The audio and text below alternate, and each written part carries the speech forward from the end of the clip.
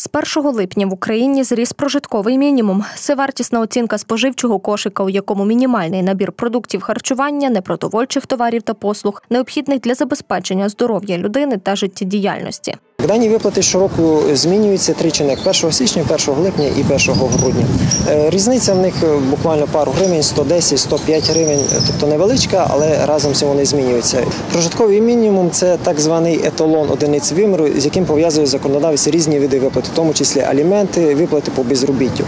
Е, Цією одиницею законодавець завжди визначає, яку суму людині необхідно виплатити, оскільки дуже мало законодавчих актів, яких можна віднайти конкретну суму в гривневому еквіваленті, яку людина повинна отримати. Завжди можна зустріти такі фрази: людина повинна отримати 5 неоподаткованих мінімум доходів громадян, або 5 прожиткових мінімум доходів громадян. В тому числі для подачі позовної заяви для суду, для прикладу, вам е, ви повинні заплатити 0,4 прожиткових мінімум.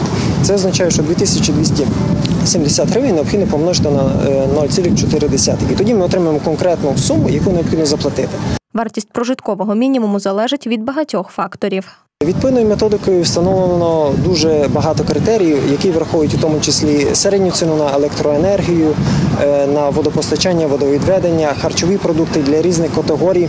Вікових категорій е, осіб, і в результаті ну кожного року відповідні установи встановлюють е, дану суму, який є відповідно еквівалентом.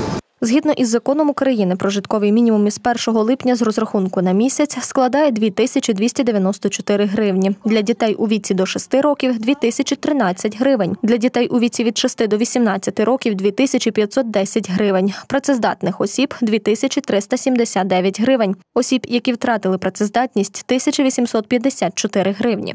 Від цієї суми однозначно, що і збільшуються відповідні виплати на відповідну суму. Наприклад, якщо у вас було 5 е, прожиткових мінімум, тоді відповідно це, наприклад, 100 гривень на 5 разів збільшується.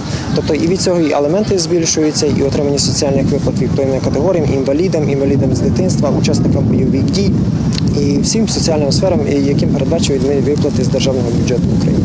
Наступного разу зміни у призначенні прожиткового мінімуму очікують на нас вже 1 грудня.